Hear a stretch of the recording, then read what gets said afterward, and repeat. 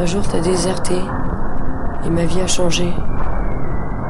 On avait notre petit quotidien, épouse, appris à se connaître, on s'aimait.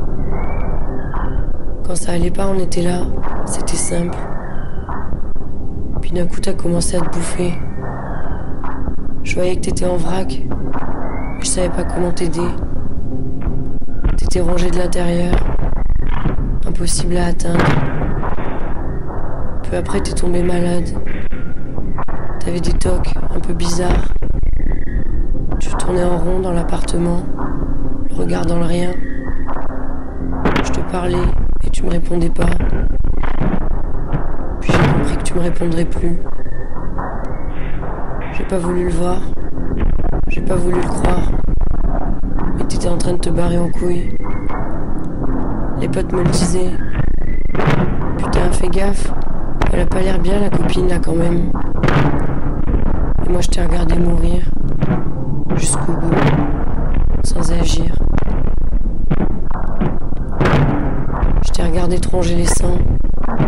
T'arracher les cheveux au scalpel. Passer tes nuits dans un coin du salon, en boule, au coin. Tu voulais même plus grailler. Le gars avec qui tu vivais te tapait dessus. Tu disais plus rien. Laissais lapider comme ça, silencieuse. Au bout d'un moment, t'as commencé à squatter ailleurs. On pouvait plus te joindre. Tu répondais plus. J'ai passé des nuits à me demander si t'allais revenir. Si un jour j'allais revoir ta gueule. Et au matin, je te retrouvais là, radasse, caché dans un angle de la baraque, en PLS sous un plaid, avec tes jolis yeux de chat, dans lesquels il n'y avait plus que des grosses pupilles noires. J'ai rien fait.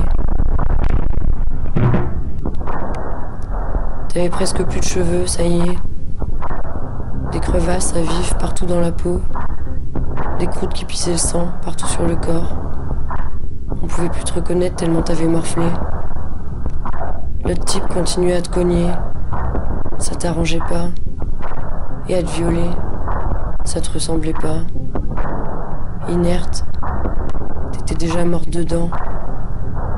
Dedans et dehors. Comment j'ai pas pu le voir?